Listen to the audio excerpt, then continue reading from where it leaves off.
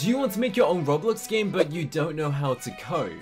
And you're not sure where to get started? Well, this Roblox game actually teaches you. And there is no experience needed to actually begin. Not only does this game teach you how to make your own Roblox games, it's also a pet simulator game where you can go and collect a bunch of different pets. And you can use all of the advice shared in this video and from this game to find out how to code your own games and actually start making free Robux from it. So let's dive into how this game actually works. The game starts off by trying to teach you how to code, and there's multiple different portals which will go and train you different things to learn in coding. And you can use this coding that you learn to help develop your own games and also have some fun. So to play this little mini game that teaches you how to code, you just press a couple of the buttons and drag all of these things around. After each level you complete, you get to go and do a new one. And I'm even going to teach you how to make your own Roblox obby, which all of you are also going to be able to go and play, and you'll be able to go and invite your friends to go and join your games as well. For this to work, I simply type out the code and then press the play button, and then my pet, which is a potato, will go and hit all of the bad stuff. Which brings me to the next level. Avoid the toxic river and hit three targets. Way to go, slimes ahead, get ready. In this scenario, we need to code our character to hit the slime. Press run and then my potato will go round and demolish all of the evil slimes. I am currently teaching my potato to literally mine diamonds, and then the little dude is gonna go and destroy this tree for me. So not only are you actually learning how to figure out how coding actually works for the basics, it's also actually fun. There's a shop where you can go and purchase different pets. For example, I'm gonna go and buy all of them because I um I can I don't know why, I may as well. I'm gonna buy all of the expensive ones. So let's purchase all of them, because why not? Each pet has unique stats that you can use in battle. For example, this is Pony Cake, which has different stats to my pet Potato. Some of these pets are purchased with bits, which you get by completing quests, fighting slimes, or selling resources. They can level up and unlock new powerful abilities. So, in this game, you can actually have your own creative mode. So let's actually go and show you how to make your own game. There's this really fun portal around the corner. And then we're going to press the make button and press new world. And right away we are put inside of an obby.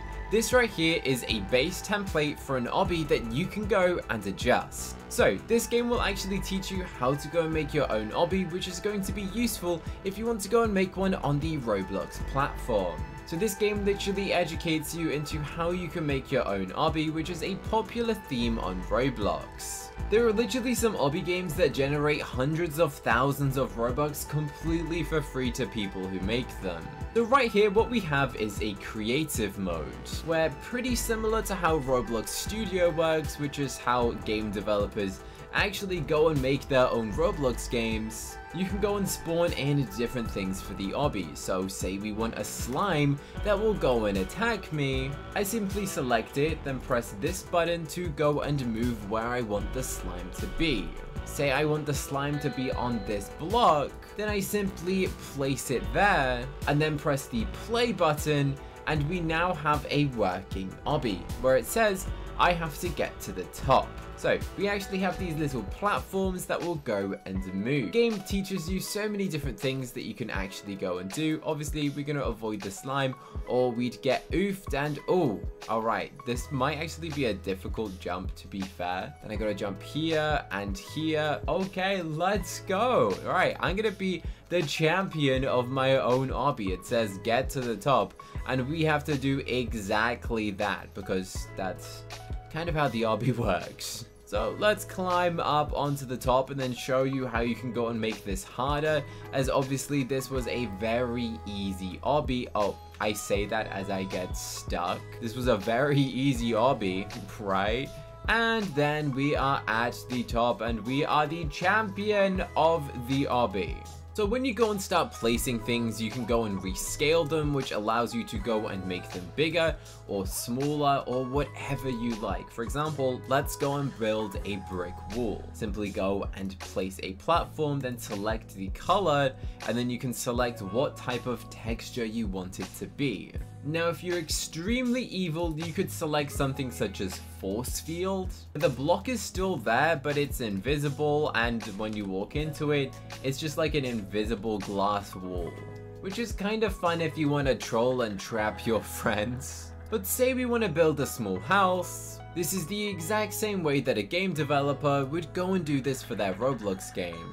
We simply scale it, make sure it's the right pattern, then hit the copy and paste button which is this one and this one. And now we have an exact replica of it, so we can start going and actually building my tiny little house right here.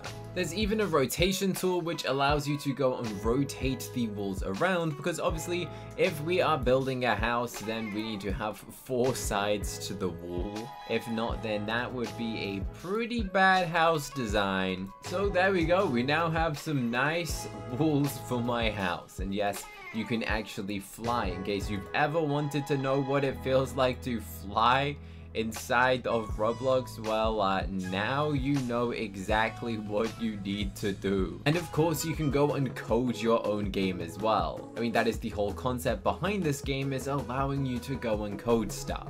Now the game also gives you hints on what you should go and use to go and code your own games, such as introducing a score, a timer, or different scales. Yeah, I'm gonna try out player scale is 10 and see what that does. Okay, so I actually did the coding wrong and there's a button that says AI help and the AI goes and costs you sparks and it will literally tell you what you need to do to make sure that you fix it. It turns out what I was missing was a capital letter. Once you finish making your game, simply press the save button and it will go and give you a copy and paste link for anyone to go and join. You literally get this link, then copy and paste it and it will take you directly into the game, such as this is my alt account and we can now go and play the obby instantly. Like you don't have to do anything, you can just play instantly with your friends. And as you can see, I failed the obby because, yeah, I'm just not good at obbies. But if you were able to win, then that's great. You can find other popular games that people have actually made inside of this editor, such as Find Potatoes. Where in this game, I assume I meant to find the potato to open the door. That's right, that is the actual game Find Potato, the door opens. Makes sense? Okay, let's find the potato. There's a little mouse that's chasing me, and if the mouse touches me, then I lose. I've got to get this potato before the mouse gets me and escape to the next room. So you can come up with some pretty creative game ideas in this. Okay, so find the potato. The potato is actually right behind where the mouse is. So, oh, he's a bit quick. Uh-oh. Uh-oh. Oh, no. I'm not sure I can outrun him. Oh, no. He's going to catch me. I found the potato. Um, is that a golem? Oh, no. I'm so close. Please, please, please. Let's go. All right, where is the potato? Let's try and find it first. Okay, so the potato is here. So the person who made this game actually made it completely through code combats. I'm pretty sure these slimes are gonna try and attack me, so let's just try and avoid the slime at all costs. That one definitely seems faster than it used to be. Okay, oh no. Oh, I've been got. Yeah, that's what happens when you get got. And now we are at the beginning. I was so close to winning. The potato pet that I've been using is actually an exclusive pet. And it's given out when 10,000 players link their Code Combat and Roblox accounts. The Code Combat website is designed to actually teach you how to make games that are outside of Roblox but they recently made this Roblox game that I highly recommend you go and check out, and the link's in the description for you to play.